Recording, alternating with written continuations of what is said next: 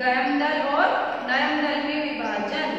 कांग्रेस के इसके दो दल थे, नरम और एक गरम। विभाजन और काल में लागू किए गए नियम और प्रतिबंध। विभाजन और युद्ध में जो नियम लागू किए गए थे और प्रतिबंध पर रोक लगाई थी, उनका है, विश्व युद्ध समाप्त हुआ और शांति के परिणाम स्वरूप देश में राहत और प्रगति की बजाय दमनकारी कानून और पंजाब में मार्शल लॉ लागू हुआ। विश्व युद्ध जब समाप्त हुआ तो शांति के परिणाम स्वरूप देश में राहत और प्रगति के बजाय मतलब शांति के बजाय और उन्नति के बजाय क्या हुआ? दमनकारी कानून और पंजाब में मार्शल लॉ लागू हुआ। जनता में अपमान की कड़वाहट और क्रोध का आवेश भर गया। जो जनता थी, उसमें कड़वाहट भर गई थी। ऐसे समय में जब हमारे देश के पौरुष को लगातार कुचला जा रहा था, शोषण की लगातार निर्माण प्रक्रिया से हमारी गरीबी बढ़ रही थी। ठीक है? कि वो बार बार हम पर अत्याचार कर रहे थे तो हमारे देश में क्या हो रही थी? गरीबी बढ़ रही थी। और हमारी जीवन शक्तिशील हो रही थी। जो हमारी जीने की शक्ति थी, वो कम हो रही थी। किसान वर्ग, दब्बू और भारतीय था। किसान वर्ग कैसा था, दब्बू बनता जा रहा था। मतलब अपनी बातें किसी को भी नहीं बता सकते थे। भयभीत था मतलब सबसे डरा हुआ था। किससे डरा हुआ था? अंग्रेज़ों से डरा हुआ था। कारखाना, कारखाने के मजदूरों की स्थिति भी बेहतर नहीं थी। जो कारखानों में काम करते थे वर्कर जो थे, उनकी स्थिति भी अच्छी नहीं थी। मध्य वर्ग और बुद्धिजीवी लोग जो इस सर्वग्रासी अंधकार में आकाशदीप हो सकते थे वे खुद इस सर्वव्यापी उदासी में डूबे हुए थे बुद्धिजीवी लोग मध्य वर्ग और बुद्धिजीवी लोग बुद्धिजीवी मतलब जो पढ़े लिखे वर्ग था जो पढ़ा लिखा वर्ग था उसमें मतलब अंधकार में उसकी दीपक का काम सोच रहे थे कि हमें उजाला देंगे, लेकिन वो खुद इस उदासी में डूबे हुए थे। और तब गांधी जी का आगमन हुआ और तब गांधी जी आए। वे ताज़ा हवा के ऐसे झोंके की तरह आए जिसने फैलकर हमें गहरी सांस लेने के योग्य बनाया जब उनका आगमन हुआ तो एक ताज़ा हवा के झोंके के समान आए थे जिन्होंने हमें गहरी सांस लेने की लेने के योग्य बनाया वे ऊपर से अवतरित नहीं हुए थे मतलब कि वो ऊपर से नहीं उतरे थे वे भारत की करोड़ों की आबादी के बीच में से एक निकल कर आए थे ऐसा नहीं कि वो ऊपर से ही कूद कर आ गए थे जो हमारे भारत के करोड़ों की जो आबादी थी उसमें से ही एक इंसान निकल कर आया था जिसका नाम था महात्मा गांधी वे उन्हीं की भाषा बोलते थे और लगातार उनकी सोचनी स्थिति की ओर ध्यान आकर्षित करते थे उन्होंने हमसे कहा कि मजदूरों और किसानों की पीठ से उतर जाओ तुम सब जो उनके शोषण के सहारे ज़िंदा हो, उस व्यवस्था को समाप्त कर दो और इस गरीबी और दुर्गति की जड़ है। वो कह रहे हैं कि जो तुम गरीबों का, किसानों का जो शोषण कर रहे हो, वो छोड़ दो। और यही कारण गरीबी का कारण बताया था उन्होंने उन्होंने जो कुछ कहा हमने उनमें से ज़्यादातर बातों को आंशिक रूप में माना और कभी कभी बिल्कुल नहीं माना जो गांधी जी कहते थे तो कह रहे हैं नेहरू जी कि हमने इनकी बातों को कभी कभी माना या कभी भी नहीं माना मतलब कि कोई कोई बात मानी हो या फिर कोई भी बात नहीं मानी हो। लेकिन ये गौन बात थी। गौन मतलब छोटी बात थी जो वैल्यू नहीं रखती। उनकी शिक्षा का सार था। जो उनकी शिक्षा का जो आधार था, वो शिक्षा के माध्यम से जो कहना चाहते थे, उनका था निर्भयता और सत्य को निर्भयता और सत्य और इनसे जुड़ा हुआ कर्म। वे हमेशा सामान्य जनता की खुशहाली पर नज़र रखते थे। सामान्य जनता थी उन पर हमेशा नज़र रखते थे। खुशहाली मतलब कि ये खुश रहे। लेकिन ब्रिटिश शासन के अधीन सबसे प्रबल एहसास था। भय। जनता में क्या था? भय, डर था। किसका भय था? ब्रिटिश शासन का भय था। व्यापक व्यापक दमनकारी दमघोटू भय। सेना का, पुलिस का दूर दूर तक फैले हुए खुफिया विभाग का भय था। मतलब डर था। चारों तरफ़ फैले इस डर के खिलाफ गांधी की शांत गांधी की शांत किंतु दृढ़ आवाज़ उठी डरो मत। गांधी जी समझाते थे, किसानों को, मजदूरों को, युवकों को मतलब हर वर्ग के लोगों को समझाते थे कि जो ये तुम्हारे अंदर जो डर है, भय है, तुम डरो मत। किससे डरो मत? ब्रिटिश शासन से डरो मत, अंग्रेज़ों से डरो मत। इस तरह लोगों के ऊपर से भय का काला लबाद उठ गया था कि वो धीरे धीरे डरना लोगों ने छोड़ दिया था पूरी तरह तो नहीं पर आश्चर्यजनक मात्रा में पूरी तरह तो लोगों ने डरना नहीं छोड़ा लेकिन एक हैरानी की मात्रा में लोगों ने डरना छोड़ दिया था, क्योंकि भय का झूठ से नज़दीक का संबंध होता है। जो डरते हैं, उनका किससे संबंध होता है? झूठ से संबंध होता है। जैसे जैसे झूठ और लुक छिप कर काम करने की ज़रूरत कम होती गई वैसे वैसे एक व्यापक परिवर्तन दिखाई देने लगा और यह मनोवैज्ञानिक परिवर्तन था। उसके बाद बेटा हमारा आगे है कि गांधी ने भारत में करोड़ों लोगों को अलग अलग मात्रा में प्रभावित किया। भारत की जनता करोड़ों में है तो गांधी ने सभी को अलग अलग उसमें प्रभावित किया। कुछ लोगों ने अपने जीवन की पूरी बनावट को ही बदल दिया। बनावट मतलब अपने पूरे जीवन को ही बदल दिया। किसके कहने पर?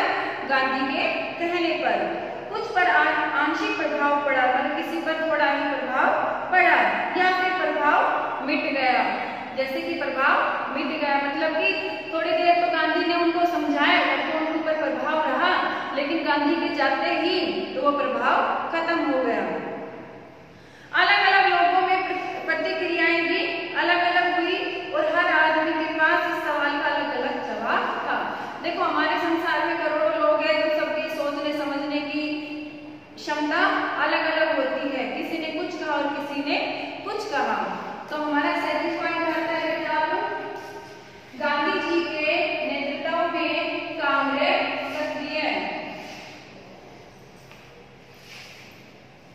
गांधी जी ने पहली बार कांग्रेस के संगठन में प्रवेश किया और तत्काल उसके सिद्धांत में पूरी तरह परिवर्तन ला दिया किसके संगठन में प्रवेश किया कांग्रेस के संगठन में प्रवेश किया उन्होंने उस लोकतांत्रिक और लोक संगठन बनाया किसे कांग्रेस को अब उसमें किसानों ने प्रवेश किया और अपने नए रूप में वे विशाल किसान संगठन दिखाई देने लगा उस जो कांग्रेस था, उसमें किसानों ने हिस्सा लिया और किसान संगठन दिखाई देने लगा।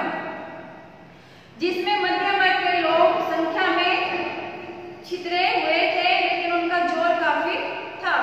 अब उसका खेतीहार चरित्र बढ़ने लगा औद्योगिक मजदूर भी उसमें आए, लेकिन अपनी व्यक्तिगत हैसियत में, अलग से संगठित रूप में नहीं मतलब उन्होंने अलग से संगठन नहीं बनाया व्यक्तिगत रूप से इस में हो गए थे।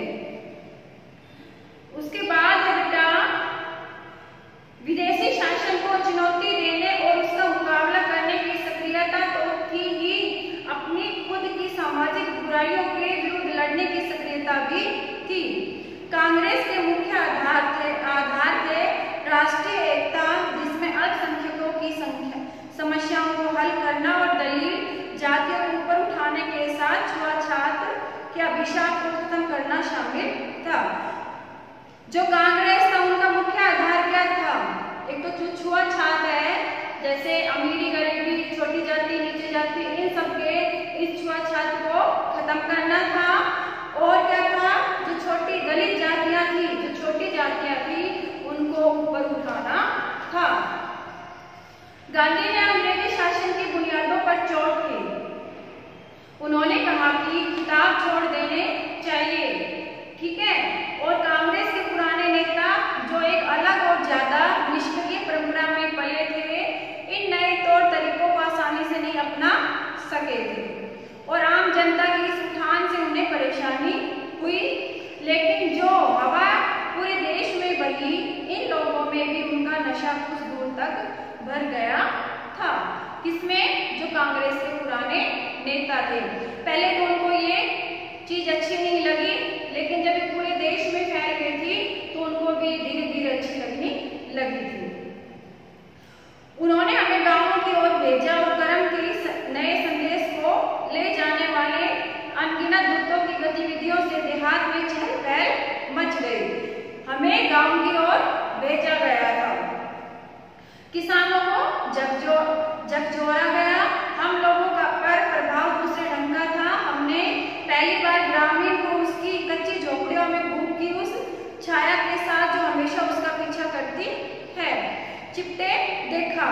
हमने इन यात्राओं से भारतीय अर्थव्यवस्था के बारे में पुस्तकों और भाषणों की तुलना में अधिक जाना जब उनको गाँव की ओर धकेला गया गाँव की ओर जाने के लिए कहा गया तो उन्होंने देखा कि वहाँ पर कितनी ज़्यादा भूखमरी है जो भूख की जो परछाई है जो उनको दिन रात सताती है तो इसमें नैविकी कह रहे हैं कि वो चीज़ हमने कब देखी थी किताबों में पढ़ी थी भाषणों में देखी थी सुनी थी लेकिन उससे अधिक अनुभव हमें कब हुआ जब हम गाँव में गए आर्थिक सामाजिक और दूसरे मामलों में गांधी जी के विचार बहुत सख्त थे आर्थिक, सामाजिक और दूसरे मामलों में गांधी जी के विचार बहुत ही कड़क थे, सख्त थे।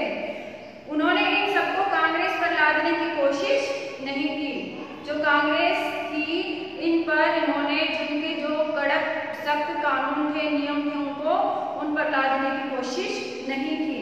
इनमें से कुछ विचारों को उन्होंने कांग्रेस में बैठाने की कोशिश की। वे सावधानी से आगे बढ़े, क्योंकि वे जनता को अपने साथ ले चलना चाहते थे। गांधी जी किसके साथ चलना चाहते थे? देश की जो जनता है उसके साथ चलना चाहते थे। बहुत से लोगों ने उनके सभी विचारों को स्वीकार नहीं किया। जो उनके विचार थे, बहुत से लोगों ने उनको स्वीकार नहीं किया। कुछ लोगों का उनके बुनियादी दृष्टिकोण से मतभेद था, ठीक है? और दूसरे यह कि लक्ष्य भले ही सही हो, लेकिन साधन हमेशा महत्वपूर्ण होते हैं। और उनकी अनदेखी नहीं की जा सकती।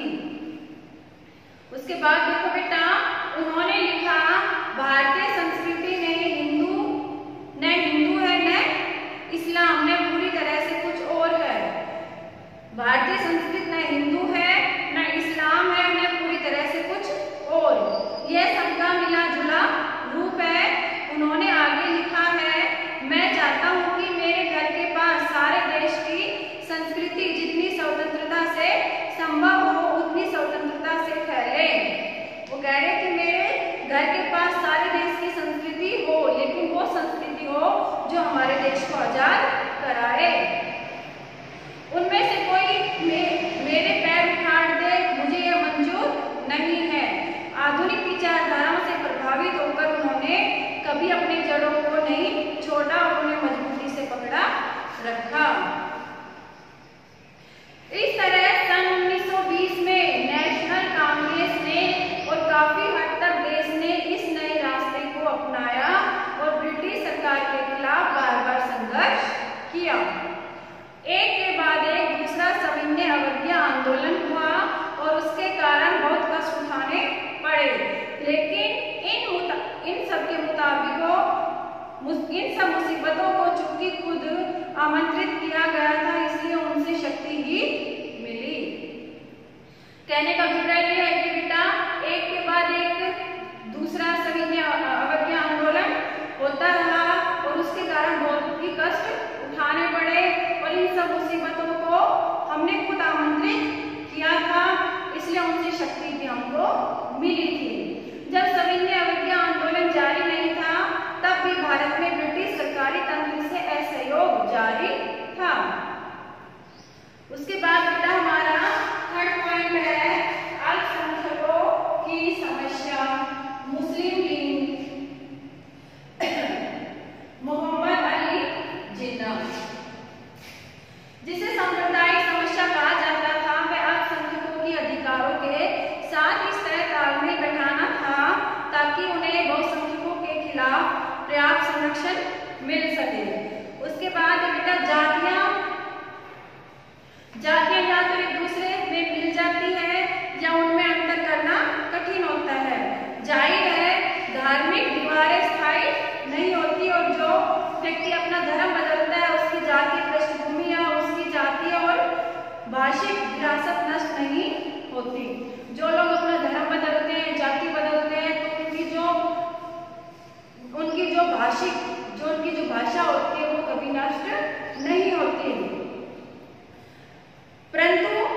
राजनीतिक मामलों में धर्म का स्थान सांप्रदायिकता ने ले लिया है। जो मानसिक रूप से अपना आधार किसी धार्मिक वर्ग को बनाता है, किंतु वास्तव में उसकी दिलचस्पी राजनीतिक शक्ति और अपने समुदाय को बढ़ावा देना होता है। गुजरे जमाने में कम से कम सिद्धांत में ब्रिटिश सरकार ने भी भारतीय